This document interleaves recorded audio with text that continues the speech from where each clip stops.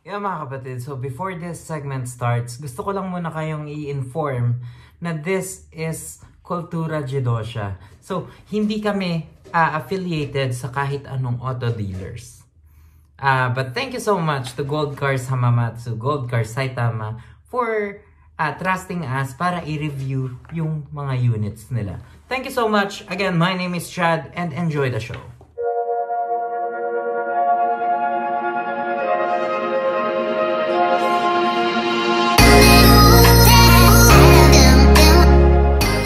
Mga kapatid, so before the review, uh, gusto ko munang ilinisin yung sasakyan.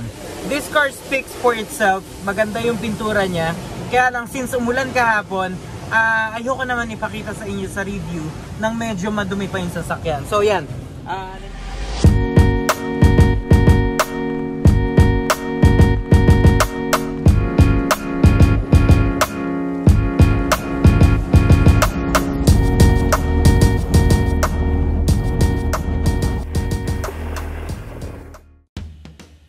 This program is brought to you by New Dreams Driving School.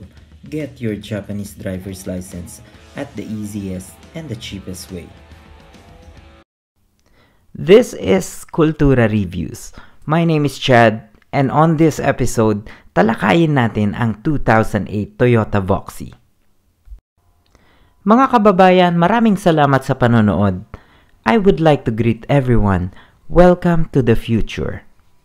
Teka, bakit nga ba Welcome to the Future e 2008 model ang i-review natin na sasakyan?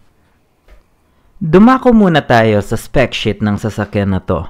Ito ay merong 1.9 engine, well, probably 2.0 engine. Ang engine type niya ay 4 cylinders inline, 16 valves, dual overhead cams. Ang compression ratio niya is 10 ang bore niya is 80.5 and ang stroke niya is 97.6. Anyway, enough for that fucking science. Gusto ko man kayong bigyan ng napakahabang spec sheet pero for sure naman mostly ng manonood ay hindi maiintindihan. So bibigyan ko kayo ng mga totoo at mga makikita natin na bagay sa Toyota Voxy 2008 ng Gold Cars. Okay, dumako muna tayo sa interior ng sasakyan na ito. Kung makikita nyo, naka-leather, naka-carpet, naka-LED, merong mga TV, iba't ibang klaseng accessory, may pabango pa bro! Enough of those jokes mga kapatid, gusto ko lang kayo patawanin. Anyway, if you are looking for a second-hand car, ito, maire-recommend ako. Kasi, if it's a 12-year-old car, Mostly ng mga sasakyan dito sa Japan eh nasisigarilyohan ng mga owner. But this one, I can 100% assure you na hindi ito nasigarilyohan. Ang unang-unang tinitignan ko sa sasakyan ay ang interior at ang unang-unang gagawin ko ay huminga ng malalim na para bang kaya kong ipasok lahat ng carpet sa ilong ko. Yan mga kapatid, so back to the review. Well, nakita nyo na yung labas ng sasakyan, yung loob. Uh, the interior for me, all in all, it's a 9 out of 10. Uh, knowing that it's a 12-year-old car, napakaganda ng interior pa. Sobrang ganda pa ng interior. Well, merong wear and tear, syempre yung mga every, yung mga faded na pintura uh, dahil sa araw-araw na ginagamit, pero hindi na natin may iwasan 'yon. So, uh, for a 12-year-old car, it's a 10 out of 10. And ito pa, ito pa, it only runs 83,000 kilometers. So, syempre, ginagamit siya ngayon, uh, baka pagka binili nyo, 84,000 na. Since nag enjoy ako. But, ayun nga, it's only 83,000. Well, joke lang, gold cars kung nanonood kayo. Joke lang, hindi ko naman ginagamit pang biyahe-biyahe yan. Ano yun? Saitama to Osaka. Let's go, one day, balikan. hindi ko gagawin yon Anyway, ah... Uh, Interior, nasabi ko na sa inyo, let's go for the paint. Yung paint job niya, uh, it's still a Casa paint job. So, it's a 12-year-old car, pero kita nyo naman, di ba? Jet black on jet black. So, yung paint sa akin ang nakapag-sold neto. Yung paint job neto, uh, talagang ano pa, uh, alam mong fresh from the casa yung paint. The same time, hindi pa siya faded siguro konting wax, konting konting coating, yan, yung mga coating na nandyan sa mga car wash, car wash. Effective yun, very effective. Yun, lalo na yung mga glass coating. Very effective yun, sobrang ganda pagka nakakoat sa sakyan. And syempre, konting wax, tapos, pero sa ngayon, pag, kung, kung makikita nyo siya personal, talagang parang bago eh. Ang tingin ko nga dyan, 2012, 2013, ganon. Pero nung nalaman ko, oh, 2008, medyo, medyo mahirapan nata ako ibenta to. Pero hindi. Kasi ako mismo, na nag-review ng sasakyan, na-sold na siya sa akin. Kung may pera lang ako, kung mag-view-view lang kayo, well, baka binili ko yan. So, mag-view kayo, mag-subscribe kayo, and baka matulungan ko kayo on your next second-hand car. So, uh, dako tayo sa driving. I've been driving that for two straight days.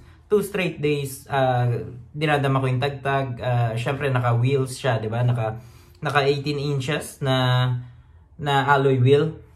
So, dinadag, dinadama ko siguro medyo tumagtag to. Pero hindi. Uh, maganda ang ride, riding niya, maganda ang maganda managtag. And also, uh, gusto ko lang i-comment ang Toyota dito. 2008 model. 2008 model. So it's a 12-year-old car. Paulit-ulit ko sinasabi. But it is fuel economical. Hindi ko alam kung anong klase ang anong klaseng alaga ang ginawa ng owner diyan, pero hindi siya nagbabawas ng gasolina. Well, hindi literal na hindi nagbabawas ng gasolina. But nung dumating kasi yan dito, merong tumingin na buyer nung dinala ko dun sa buyer, it's a one and a half, oh, one, one hour and 15 minutes drive from from here papunta doon. And yun, 'di ba? Akala ko mauubusan ng gas pero hindi. Kung ano yung nilagay ng gold cars diyan, yun pa rin yung inuubos ko. At hindi ko pa siya, hindi ko pa rin siya maubos. Yun. So, very fuel economical yung sasakyan. And isa pang i-comment ko, Toyota, thank you, thank you so much for power steering. Maraming maraming salamat sa napakalambot na power steering. Hindi ka napapagod sa sasakyan na to. Well, kung, kung meron akong cash at kaya kong bilhin to, baka binili ko.